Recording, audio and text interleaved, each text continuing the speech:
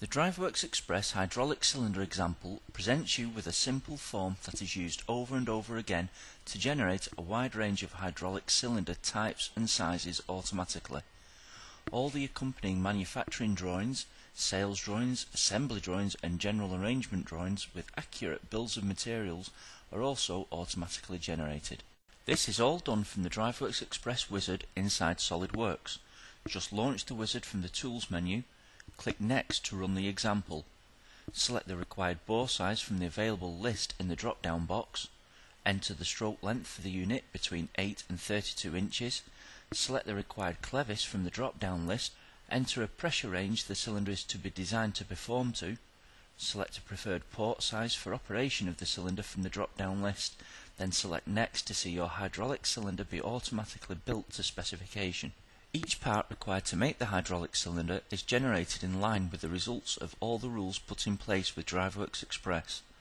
DriveWorks Express reports on the success of each task as it generates, giving instant feedback on success. Lengths, depths and thicknesses are driven to produce parts to the exact size required. Fixing holes are calculated and repositioned. Radial pitches are distributed accordingly. The shaft length is calculated based on the stroke entered and all diameters are driven to the correct size. The required mounting attachments are selected and driven with any features, custom properties and configurations all being controlled. Drawings are generated with all manufacturing dimensions and relevant information applied. Notes are updated, allowing the automatic population of drawing borders. Assemblies can have unrequired parts removed from the resulting file Parts that change in quantity are driven and pitched accurately. Assembly drawings are created with any bills of materials information updated. The end result is a fully engineered model, exactly to specification, with accurate component detail and precise geometry.